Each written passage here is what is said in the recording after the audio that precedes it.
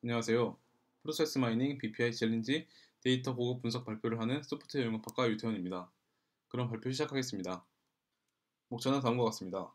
먼저 제가 사용한 데이터인 VINST dataset에 대한 설명 및 분석 목표에 대해 말씀드리겠습니다. 두 번째로 중간 발표 때 수행한 process map 만들기 결과에 대해 말씀드리겠습니다. 세 번째로 중간 발표 때 수행한 추가 분석 결과에 대해 말씀드리겠습니다. 네 번째로 이번에 진행할 기말 분석 목표에 대해 말씀드리겠습니다. VINST dataset은 볼보 IT가 제공한 dataset으로 사용자들로부터 발생하는 사고들을 해결하고 지원함과 동시에 최대한 높은 수준의 서비스 quality와 사용성을 유지하기 위해 업무 처리 로그 데이터를 수집한 것입니다. VINST dataset에서 제공되는 로그 데이터는 총 3개입니다. 첫 번째 로그 데이터는 incident handling process 데이터로 발생한 문제 사건을 처리하면서 문제 확인, 대기, 해결 등 발생한 사건의 처리 상태를 기록한 데이터입니다. 두 번째 로그 데이터는 open problem 데이터로 데이터 수집 당시 처리 중이던 로그 데이터를 기록한 것입니다.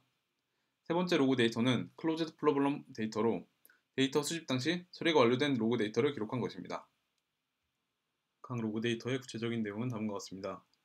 incident handling process는 대략적으로 위 그림과 같이 생겼으며 아래 표와 같은 attribute로 이루어져 있습니다. 여기서 id는 발생한 사건의 serial 번호를 나타낸 SR 넘버이고 status와 substatus를 activity attribute로 사용했습니다. incident handling process 데이터는 2010년 10월 31일부터 시작하여 2011년 5월 23일에 종료된 데이터로 총 7,554개의 케이스와 65,533개의 이벤트를 가지고 있습니다. 총 13개의 activity가 있으며 각 activity의 분포 비율은 아래 그래프와 같습니다. status가 substatus가 in progress인 activity가 46.14%로 가장 많았습니다. open problem 데이터는 대략적으로 위 그림과 같이 생겼으며 아래 표와 같은 attribute로 이루어져 있습니다. 여기서 id는 발생한 문제의 serial 번호를 나타낸 프로블럼 넘버이고 스테이터스와 서브스테이터스를 액티비티 어트리뷰트로 사용했습니다. open problem 데이터는 2006년 7월 11일부터 시작하여 2012년 6월 15일에 종료된 데이터로 총 978개의 케이스와 2351개의 이벤트를 가지고 있습니다. 총 5개의 activity가 있으며 각 activity의 분포 비율은 아래 그래프와 같습니다. status가 accepted이면서 substatus가 in progress인 activity가 49.08%로 가장 많았습니다. closed problem 데이터는 대략적으로 위 그림과 같이 생겼으며 아래 표와 같은 attribute로 이루어져 있습니다. 이 데이터 역시 id는 problem number이고 status와 substatus를 activity attribute로 사용했습니다. closed problem 데이터는 2006년 1월 11일부터 시작하여 2012년 5월 30일에 종료된 데이터로 총 1,909개의 케이스와 6,660개의 이벤트를 가지고 있습니다. 총 7개의 activity가 있으며 각 activity 분포 비율은 아래 그래프와 같습니다. status가 accepted이면서 substatus가 in progress인 activity가 46.03%로 가장 많았습니다. VINST dataset의 분석 목표는 총 3개이며 각 분석을 위한 세부 질문은 다음과 같습니다. 첫 번째 분석 목표는 push to front 문제입니다.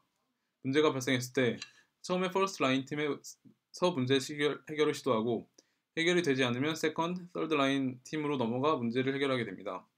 push to front란 incident handling에서 대부분의 사건이 first line 팀에서 해결되도록 하는 전략입니다. first line 팀이 second, third line 팀의 도움 없이 문제를 해결할 수 있다면 push to front가 잘 작동한 것이라 할 수 있습니다. 이 문제에 대한 세부 질문은 다음과 같습니다. 어떤 제품이 push to front 전략과 잘 맞는가? 혹은 그렇지 않은 것은 무엇인가? 어떤 조직에서 to front 과정을 많이 사용하는가? 특히 라인 A2와 라인 C를 비교해 보아라. to front와 가장 유사한 기능은 무엇인가? 두 번째 분석 목표는 ping pong behavior입니다. 문제가 발생하면 담당 팀에서 바로 업무를 처리하는 것이 가장 이상적이며 팀들이 맡은 업무를 다른 팀과 주고받는 행동, 즉 ping pong behavior가 발생하는 것은 좋은 상황이 아닙니다. ping pong behavior는 분명히 사건의 총 해결 시간과 관계가 있습니다. 이 문제에 대한 세부 질문은 다음과 같습니다.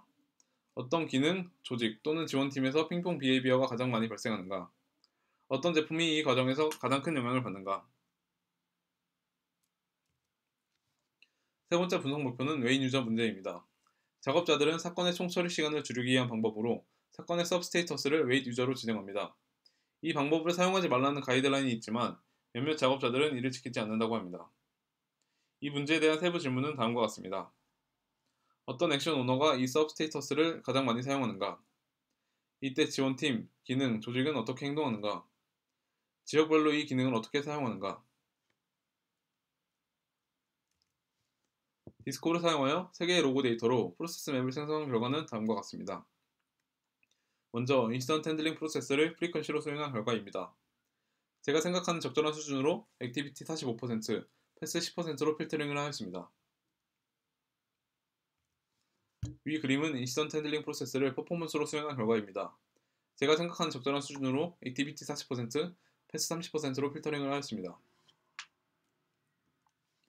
위 그림은 open problem을 frequency로 수행한 결과입니다. 적절한 수준으로 activity 100%, path 30%로 필터링을 하였습니다. 위 그림은 open problem을 퍼포먼스로 수행한 결과입니다. 적절한 수준으로 activity 100%, path 30%로 필터링을 하였습니다.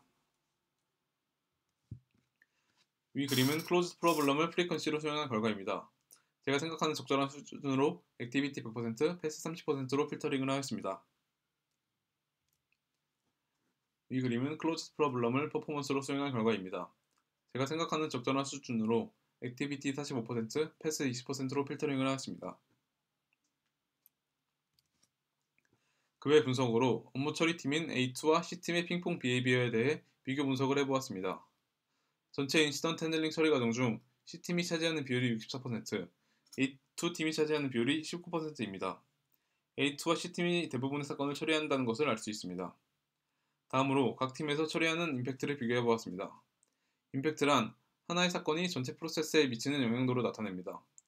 A2팀은 미디엄 임팩트가 64.71%로 가장 많았고 C팀은 로우와 미디엄 임팩트가 약 40%로 많았습니다.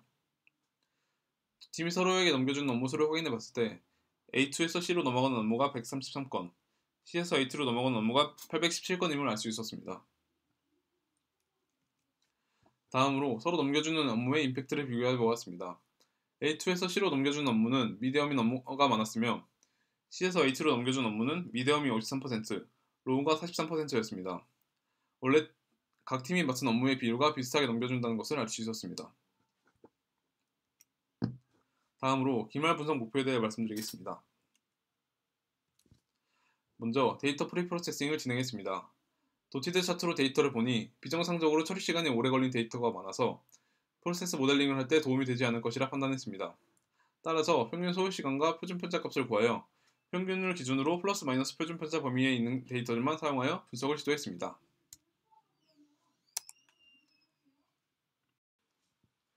두 번째로는 기존에 했던 ping pong behavior 분석을 확장하여 다른 팀들과 A2, C팀 간의 관계를 분석하였습니다. 세 번째로 conformance checking을 통해 모델을 수정하여 최적의 모델을 생성할 계획입니다.